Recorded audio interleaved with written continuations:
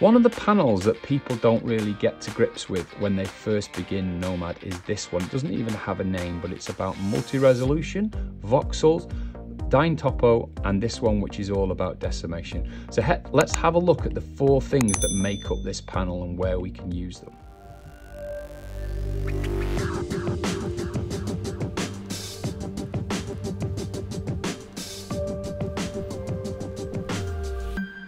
One of the panels that confuses new users the most is this one here. So it doesn't even have a name. If you look here, you've got scene, project, material, but this panel, which is all about how we affect our geometry, um, doesn't even have a name. So I think this will change in the future. But I'm going to quickly work you through what these four panels do here and where you use them and why you would use them. So let's pin that open and we'll start on the first one. This is just a default sphere when we open up, up um, Nomad.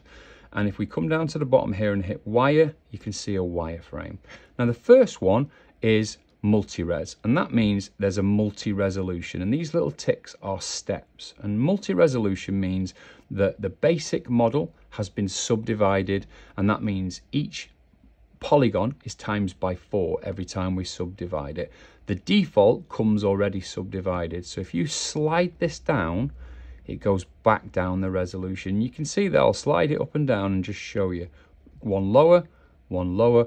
And what's happening here is the, the face count or the vertice count gets lower and lower. So back up again, we've got 24,000. Down, basically divide it by four, back down to 6,000. I'm rounding these numbers down. Down again, it's 1,500 and down again and it's down to just 384 faces. And that now is quite a low resolution sphere. And that's what that sphere that you get as a default in Nomad is like at its base level. So you can delete the higher resolutions and that means there is only a 384 um, polygon model there now. And you can add them back again by subdividing again. So do it once, do it twice, and you can see how the ticks are arriving here. And the reason that you might want more subdivisions like or, or, or higher resolution with subdivisions is when you sculpt, so let's use clay and we'll put, we'll make sure that symmetry is on, wireframe is off. And when I sculpt now, you can see the, and smooth as well, it, it basically, the higher resolutions give you a better surface to sculpt on. And that's mostly why we would do the higher resolution. So come back down, come back down, come back down. And you can see how the edges got jaggy there, but you can't really tell until we put wireframe on. And that's the essence of multi-resolution. And we do that when we've got a predictable mesh, say it's a head, and we've sculpted it to a certain level, and we don't want to affect the geometry. We want to keep the geometry like that, but subdivide it more. So that's when we would use that. So the next one along is voxel remesh or voxel remeshing. And what this does is it affects the overall service by redistributing the polygons. It's not as predictable as, as this would look as it, as it is now. So let's just give you an example. So there's a slider here, and as you slide this up and down, you can see this number changing. That gives you a grid that's an approximation. So bigger squares means you're going to be lower polygon. You can go all the way down to next to nothing. And smaller ones in the grid means that it's going to give you a higher one. Now there's a video up at the top that will explain a little bit about voxel resolution in other programs. Um, this one, that one up above is actually in, in Adobe Medium, which is a VR tool, but it's exactly the same. And voxels are where you put, a, or, or in this terminology, is where you put a grid around something and you remesh it based on whatever's in that grid and that then converts it back to these normal polygons. You don't need to worry about that bit at the moment. Okay, so the next one, um, the, the, or the next thing that I'm going to do is I'm going to try it. So let's go lower, go all the way down to really, really low and we'll hit remesh and see what happens while the wireframe is on. So the multi-resolution will be lost. So that's a good thing to remember is if you've got a cube and you've subdivided it, when you come to do voxel remeshing, you're going to lose that subdivision. So click OK. And you can see there, it's made a really nice go at making this lower resolution. So it isn't brilliant, um, and, it, and it, we could have even gone lower actually. Two fingers to tapping to undo, go really, really as low as it will let me. And it gives you that So it's a little bit lower, I think. So that's one way to do it. But what about going much higher? So well, let's let's try something like, let's go up to about 100-ish and do it again and say yes. And you can see there it's much, much more higher polygon. But what's interesting there is if you put wireframe off, can you see how it looks like it's still made of polygons? And that's because it will remesh the shape that you've you've um, come from. So it's trying to replicate the shape that you were using before. So if you remember, let's double tap to go back. We had it very blocky and it's made, it's gone higher resolution, but it's kept that blockiness. So let's do it one more time. Let's go a lot higher this time and you'll see what happens. Remesh and you can see if I turn wireframe off, it's kept that blockiness again. Now, if you didn't want to do that, what you would do is from this point, wireframe on, you would come back to the first panel and you would basically go higher resolution, higher resolution, then to voxel and then remesh it. What that's giving you is a much, it's still a little bit blocky, but it's a much, much smoother sphere overall if you do it that way. Let's undo that now. And if you look at the polygon count, make sure you've got this on, which is your stats, um, which come from up here in, um, come up to display settings, make sure stats is on there.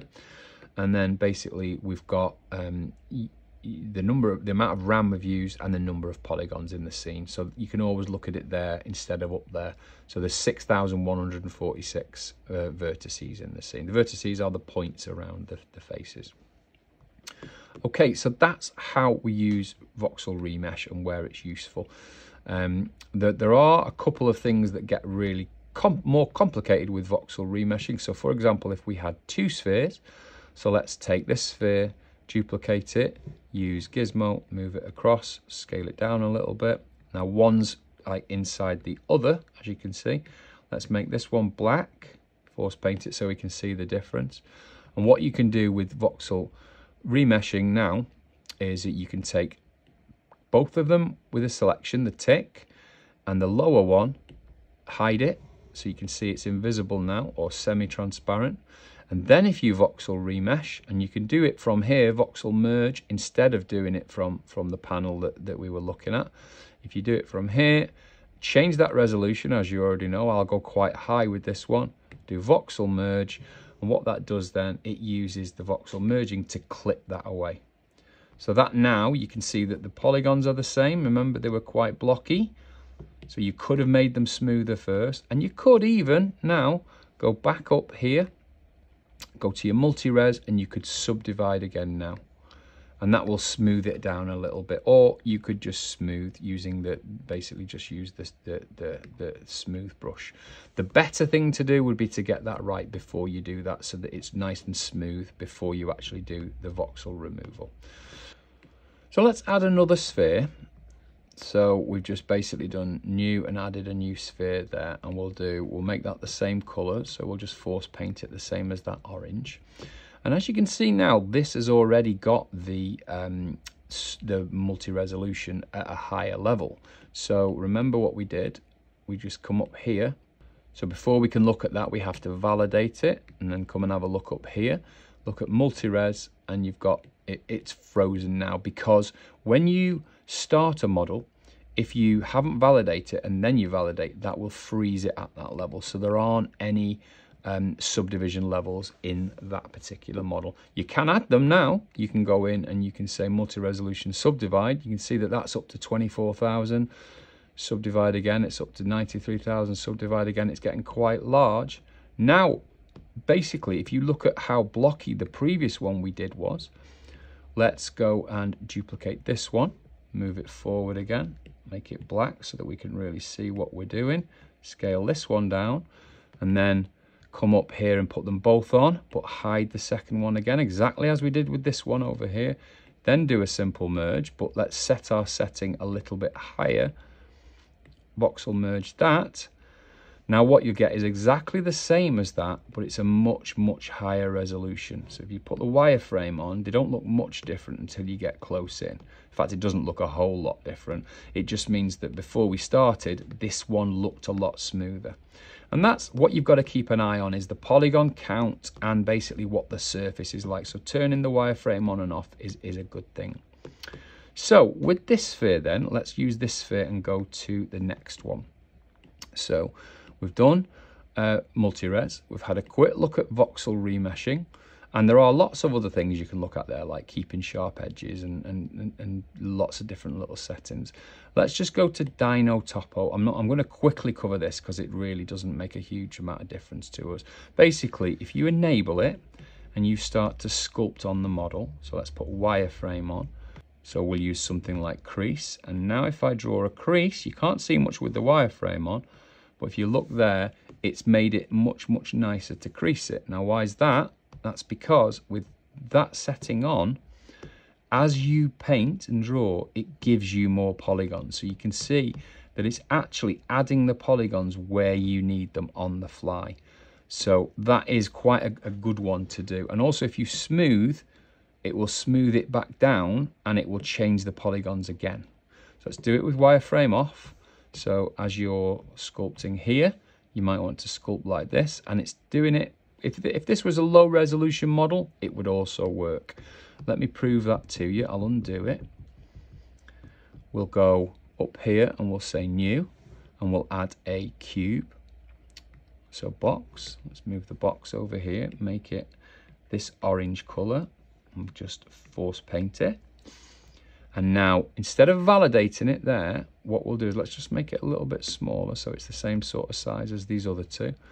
Instead of validating it, what we do is we come up here and we can basically lower the um, box topology. Wireframe on, watch, we'll go all the way down. So all the way down to nothing and then validate and you basically get a six-sided cube. So they're, they're each, each side here is one face. So go up here now and switch Dyntopo on and now try and affect it. Nothing is happening in each of these faces. And that's because generally sculpting works on polygon on, on vertices, not polygons.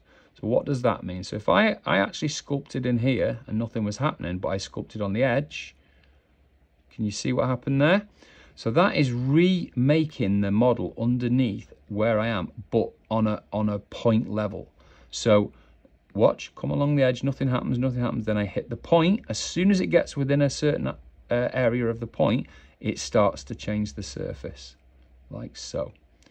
And that'll happen with all the brushes actually. So if you use something like flatten, that'll work now because there's lots more points to work with. So you have to bear that in mind when you're doing it. But a good thing to do would be, let's go back, a, back one and we'll go back to multi-res and we'll subdivide it. But before we do that, we'll use flat subdivision. Why are we doing that?